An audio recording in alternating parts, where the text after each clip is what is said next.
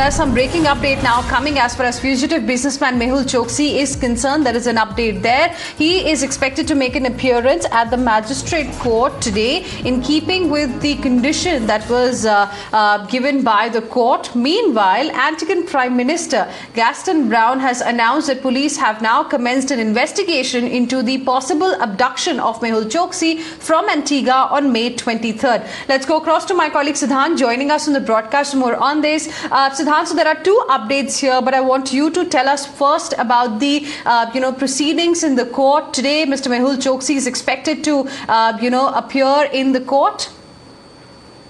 Well, uh, his appearance in magistrate court uh, is as per the orders from the court of him to be uh, present before the courts uh, because as uh, during the hearing the prosecution very clearly mentioned that Mr. Choksi is at a flight risk.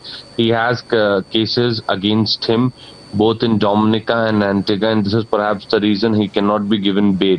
So, after the orders from the court, uh, you know, he uh, he has to attend, uh, he has to come to court. Now, uh, what is very interesting here is that already, uh, mm, Hina, uh, you know, the investigation was going on by the Antiguan police.